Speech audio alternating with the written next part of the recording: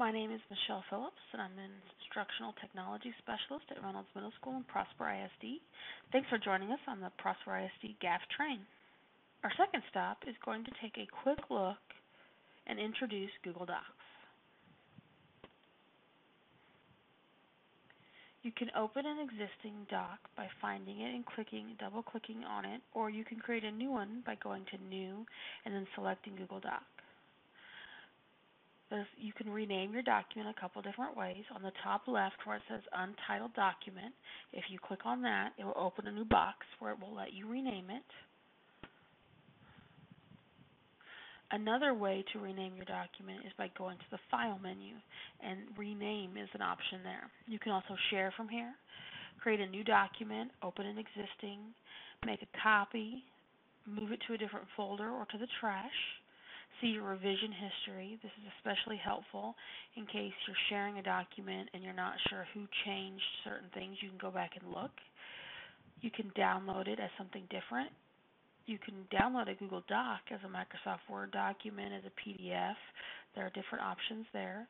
You can publish to the web, which then takes that document and makes a web page out of it. You can email your collaborators, email as an attachment, or this is also where you change your margins in page setup. You can also print. Your edit and view menus are very similar to Microsoft Word. You have the undo and redo actions and the paste, cut, and copy. You also can view the print layout. You can show rulers and spelling suggestions from here. You can also go full screen. You then have your insert menu. You can insert an image, links, equations, drawings, tables, uh, a footnote, page numbers, page counts, bookmarks. Uh, table of contents is a great feature, and header and footers. So let's look at inserting images. So when you insert an image, you'll see a new box open up, and you have different options. You can upload directly from your computer. You can take a snapshot. You can enter a URL. You can look find look through your albums, or you can find a picture that is already in your Google Drive. If you click on Google Drive, you can then give the options of it's in your drive, it's in the shared with me, or if it's in the recent. You can then go, if you click on my drive, you can then go into specific folders and find the picture you're looking for. You can also search right from this area, and it will take you to a Google search and you'll notice that results are shown labeled for commercial reuse with modification. If you insert a drawing, this is where you can move shapes and objects and images where you want them, and then all you have to do is click Save and Close, and it will put it on your page. You can edit it at any time and have options to add text or move the text around the picture. This is a great way to create columns in Google Docs because unlike Microsoft Word, there's not an automatic feature where you can just select how many columns you want. But if you insert a drawing and then have text boxes side by side, that will create the columns for you. Your format menu, you can format your text. You can also do the strike throughs, the paragraph styles, line spacing, you can also format your images.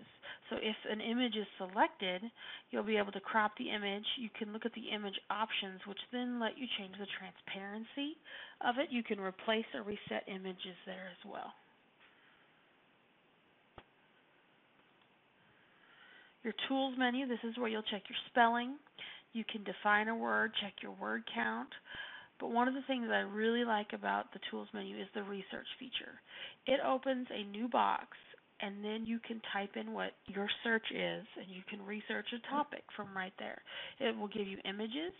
You also have the option of previewing the source, inserting the link to the source, or actually citing it in your paper. So I have an untitled new document. So if I wanted to put in let's say Labor Day. I could highlight that and then go to my Tools menu and click on Research. And then it will come up with different web results. I can click right there and we'll also, I can look at images as well. So I can say not filtered or ones that I can reuse. I can also choose what style of citation format. So then I look at my sources, and if I hover over it, I can preview it, which will show me something about it. I can insert a link, which if I look at my page, it will then hyperlink that text to this document.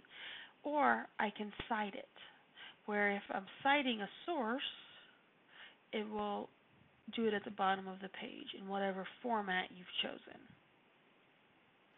You also have the table, add-ons, and help menus.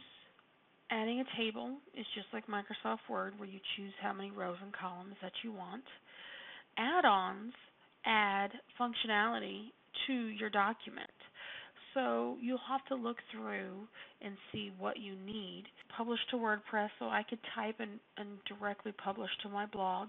I could create a table of contents out of all my pages. I could do a doc to form, so it would turn it into a form.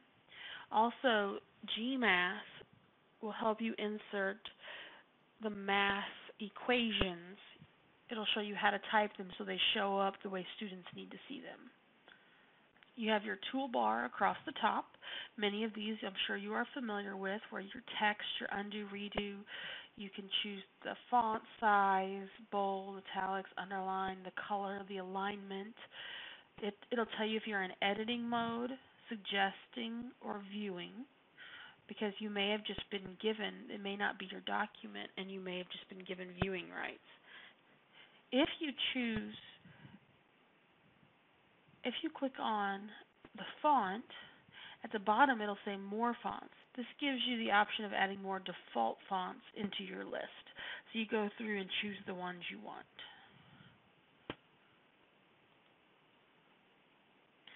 Commenting, you can add comments to different documents. I love this feature and I use it often with my students.